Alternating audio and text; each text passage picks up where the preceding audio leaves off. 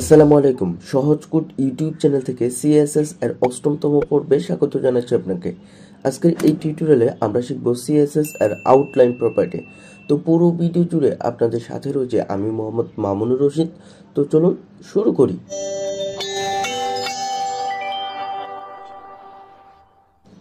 At first এটি জানা দরকার যে আউটলাইন কি। তো আউটলাইন কি এই বিষয়টি বোঝার আগে আমরা গত পর্বে যে বর্ডার নিয়ে কাজ করেছিলাম, সেখানে একটি বক্স নিয়েছিলাম, সেই বক্সটি নিয়ে নিলাম।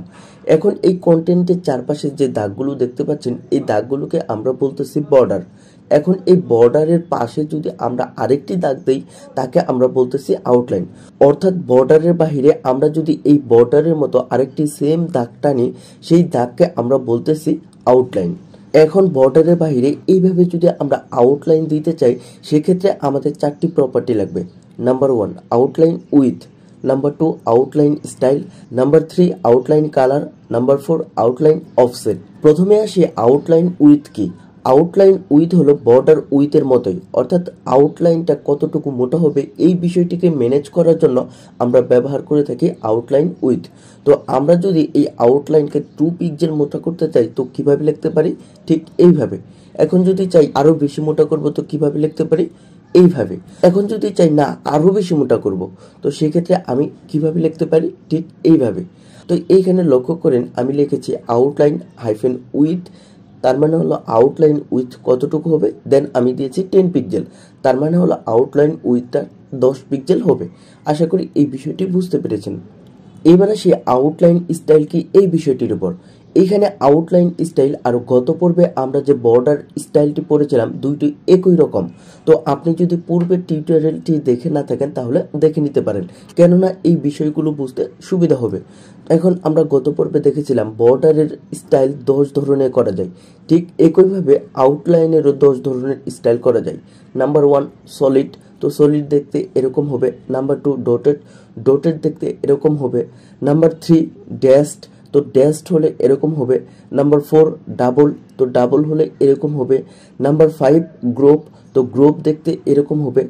Number six, ridge. তো রিডস দেখতে এরকম হবে। নাম্বার সেভেন ইনসেট ইনসেট দেখতে এরকম হবে। নাম্বার এইট আউটসেট আউটসেট দেখতে এরকম হবে। নাম্বার নাইন নান তো নান দিলে এই আউটলাইনটি আর দেখা যাবে না। নাম্বার টেন মিক্স তো মিক্স দিলে এরকম হবে।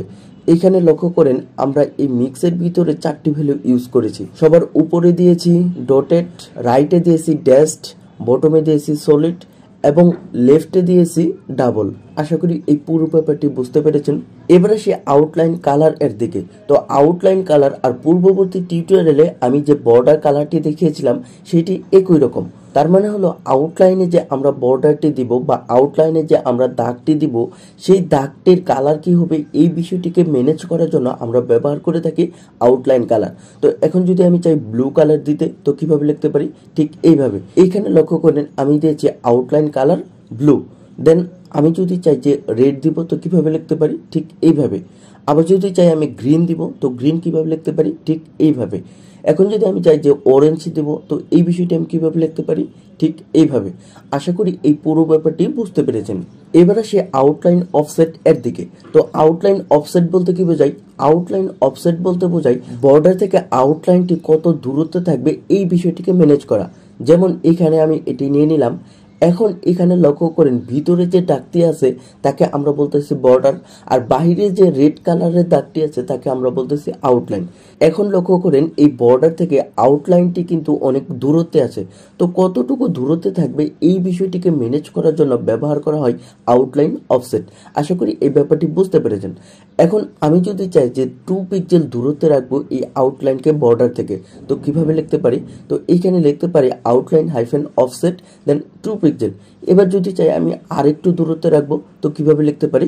ঠিক এইভাবে। এখানে লক্ষ্য করেন, আমি দিয়েছি ফোর পিক্সেল আবার যদি চাই আমি আরেকটু দূরে রাখব, তো কীভাবে লিখতে পারি? ঠিক এইভাবে। তো এখানে লক্ষ্য করেন, আমি দিয়েছি টেন পিক্সেল তার মানে হলো বর্ডার থেকে আউটলাইনটি দশ পিক্সেল দূরে থাকবে। আশা করি এই পুরো ব্যাপারটি বুঝতে পেরেছেন। তো চলুন প্র্যাকটিক্যালি করি, তাহলে এই বিষয়টি আরও সহজ হবে। অ্যাট ফার্স্ট সাপ্লাইম টেক্সট এডিটরটি ওপেন করে নিলাম দেন এইচটিএমএল এর যে বেসিক সিনটেক্স আছে সেটিকে লিখে ফেললাম। এখন এই টাইটেল ট্যাগের ভিতরে লিখে দিলাম আউটলাইন এবার এই ফাইলটাকে সেভ করে দেই। এখন এই বডি ট্যাগের ভিতরে আমি একটি এইচ ওয়ান ট্যাগ শুরু করলাম দেন এই এইচ ওয়ান ট্যাগটিকে শেষ করে দিলাম। এখন এর ভিতরে লিখে দিলাম সহজ কুড ইউটিউব চ্যানেল এখন আমি চাচ্ছি এই এইচ ওয়ানের ভিতরে যে টেক্সট আছে, এর চারপাশে একটি বর্ডার দিতে। সেটি কীভাবে দিতে পারি? বর্ডারটা দেওয়ার জন্য প্রথমে আমাকে সিএসএস অ্যাড করতে হবে। তো তার জন্য এখানে লিখে ফেললাম স্টাইল দেন এই স্টাইল লেখাটিকে শেষ করে দিলাম। এখন এর ভিতরে এই এইচ ওয়ানকে সিলেক্ট করে এর ভিতরে আমার বর্ডারটা দিয়ে দিতে হবে। তো এইচ ওয়ানকে লিখে ফেললাম দেন সেকেন্ড ব্র্যাকেট এখন এর ভিতরে লিখে ফেললাম বর্ডার দেন আমি চাচ্ছি বর্ডারটি থ্রি পিক্সেল থাকবে, তো সেই জন্য এখানে লিখে দিলাম থ্রি পিক্সেল এবার আমি চাচ্ছি বর্ডারটির সলিড আকারের হবে, তো সেই জন্য এখানে লিখে দিলাম সলিড দেন আমি চাচ্ছি যে বর্ডারটি অরেঞ্জ কালার হবে, তো সেই জন্য এখানে লিখে দিলাম অরেঞ্জ এবার এই ফাইলটিকে সেভ করে ব্রাউজারে চলে যাই। দেখেন এখানে চলে এসেছে। তো এইখানে সহজ কুট ইউটিউব চ্যানেল এর চারপাশে যে বর্ডারটি দেখতে পাচ্ছেন, এর উইথ হলো থ্রি পিক্সেল স্টাইল হলো সলিড এবং কালার হলো অরেঞ্জ তো এবার আমি চাচ্ছি এই বর্ডারের পাশে আরেকটি আউটলাইন দিতে। অর্থাৎ বর্ডারের পরে আরেকটি আউটলাইন দিতে। তো সেটি কীভাবে দিতে পারি? তো সেটি দেওয়ার জন্য আবার সাবলাইমে চলে গেলাম। এখন আমাকে আউটলাইন প্রপার্টি নিয়ে কাজ করতে হবে। তো সেই জন্য এইখানে লিখে ফেললাম আউটলাইন উইথ এবার বলে দিতে হবে, এই আউটলাইনের উইথটা কতটুকু হবে? তো আমি যেহেতু চাচ্ছি থ্রি পিক্সেল হবে, তো সেই জন্য এখানে লিখে ফেললাম থ্রি পিক্সেল এবার আউটলাইনের স্টাইল দিতে হবে, তো সেই জন্য এখানে লিখে ফেললাম আউটলাইন স্টাইল দেন আমাকে বলে দিতে হবে, কি ধরনের স্টাইল হবে আউটলাইনটি তো আমি চাচ্ছি এই আউটলাইনটিও সলিড আকারে হোক, তো সেই জন্য এখানে লিখে ফেললাম সলিড এবার আমাকে বলে দিতে হবে যে আউটলাইনটা দিব, তার কালার কি হবে। তো সেই জন্য এইখানে লিখে ফেললাম আউটলাইন কালার এখন আমি চাচ্ছি যেহেতু রেড কালার হবে, তো সেই জন্য এখানে লিখে ফেললাম রেড এবার এই ফাইলটাকে সেভ করে ব্রাউজারে চলে যাই। দেখেন এখানে চলে এসেছে। তো এইখানে একটু লক্ষ্য করেন অরেঞ্জ কালারের বর্ডার শেষ হওয়ার পরে কিন্তু আউটলাইন বর্ডারটি শুরু হয়েছে। তার মানে হলো অরেঞ্জ কালারের বর্ডারটি শেষ হওয়ার পরেই কিন্তু রেড কালারের একটি বর্ডার দেখতে পাচ্ছেন বা রেড কালারের একটি দাগ দেখতে পাচ্ছেন।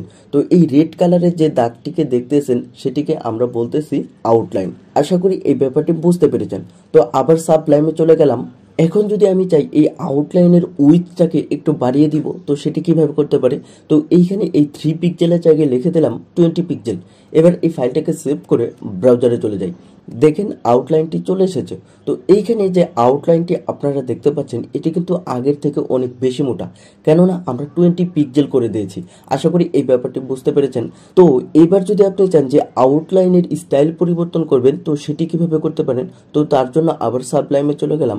এখন এই টোয়েন্টি পিক্সেলের জায়গায় লিখে দিলাম থ্রি পিক্সেল এখন যেহেতু আমি চাচ্ছি আউটলাইনের স্টাইল পরিবর্তন করব, তো সেই জন্য এই সলিড লেখাটি তুলে দিয়ে এইখানে লিখে ফেলাম ডেস্ক এবার এই ফাইলটিকে সেভ করে ব্রাউজারে চলে যাই। দেখেন এইখানে চলে এসেছে। তো এইখানে যে আউটলাইনটি আপনি দেখতে পাচ্ছেন, এই আউটলাইনটি কিন্তু ড্যাশ ড্যাশ দ্বারা ফিল আপ হয়েছে। আশা করি এই ব্যাপারটিও আপনি বুঝতে পেরেছেন। এখন যদি আপনি চান এই ড্যাশ স্টাইলটি ব্যবহার না করে অন্য কোনো স্টাইল ব্যবহার করবেন লাইক ডাবল গ্রুপ অথবা ইনসেট অথবা আউটসেট তো সেই বিষয়টি কীভাবে ব্যবহার করতে হবে এগুলো আমি অলরেডি দেখিয়ে ফেলেছি, তাই আমি নতুন করে আর দেখাচ্ছি না। এবার আমি যেটি চাচ্ছি সেটি হলো এই বর্ডার থেকে আউটলাইনের দূরত্ব বাড়াতে, তো সেটি কীভাবে করতে পারি? তো তার জন্য আবার সাব লাইনে চলে গেলাম। এবার এই আউটলাইন কালারের পরে লিখে ফেললাম আউটলাইন অফসেট এই আউটলাইন অফসেট প্রপার্টি কাজ কি? আউটলাইন অফসেট প্রপার্টি কাজ হলো বর্ডার থেকে আউটলাইনের দূরত্ব বৃদ্ধি করা। তো এই জন্য এইখানে এটি ব্যবহার করলাম। তো এইখানে এখন লিখে ফেললাম ফাইভ পিক্সেল তার মানে হলো আউটলাইনটি বর্ডার থেকে পাঁচ পিক্সেল দূরত্বে থাকবে। তো এবার এই ফাইলটিকে সেভ করে ব্রাউজারে চলে যাই। দেখেন এখানে চলে এসেছে। এখানে কিন্তু একটু আগেই এই ডেস্ট আউটলাইনটি এই বর্ডারের সাথে লেগেছিল। কিন্তু এখন বর্ডার থেকে দেখেন পাঁচ পিক্সেল দূরত্বে অবস্থান করছে। তো এই দূরত্ব তৈরি করার জন্য আমরা কোন প্রপার্টি ব্যবহার করেছি? আউটলাইন অফসেট তো আবার সাবলাইমে চলে গেলাম। এখন আমি যাচ্ছি এই দূরত্বটাকে আরেকটু বাড়িয়ে দেব। তো সেই জন্য এইখানে লেখে ফেললাম ফিফটিন পিক্সেল এবার এই ফাইলটাকে সেভ করে ব্রাউজারে চলে যাই। দেখেন এইখানে চলে এসেছে। কিন্তু এখন আউটলাইনটি অনেক দূরত্বে দেখাচ্ছে। কেননা আমরা এখন এর ভ্যালু অর্থাৎ আউটলাইন অফসেট এর ভ্যালু বাড়িয়ে দিয়েছি। আশা করি এই পুরো ব্যাপারটি বুঝতে পেরেছেন। এবার আমরা আউটলাইন প্রপার্টি সম্পর্কে ট্রিক্স শিখব। তো তার জন্য স্লাইডে চলে গেলাম। এখন আমরা যে ট্রিক্সটি শিখব, তার নাম হলো আউটলাইন শর্ট হ্যান্ড আমরা কিন্তু একটু আগেই আউটলাইন দেওয়ার জন্য তিনটি প্রপার্টি ব্যবহার করেছি।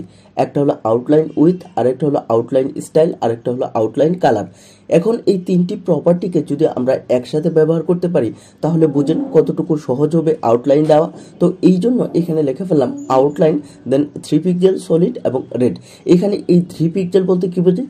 থ্রি পিক্সেল বলতে বোঝায় আউটলাইনের উইথ দেন সলিড বলতে কি বোঝায়? সলিড বলতে বোঝায় যে আউটলাইনের স্টাইল দেন রেড বলতে কি বোঝায়? রেড বলতে বোঝায় আউটলাইনের কালার আশা করি এই ব্যাপারটি বুঝতে পেরেছেন। তো চলুন আবার প্র্যাকটিক্যালি করে দেখি।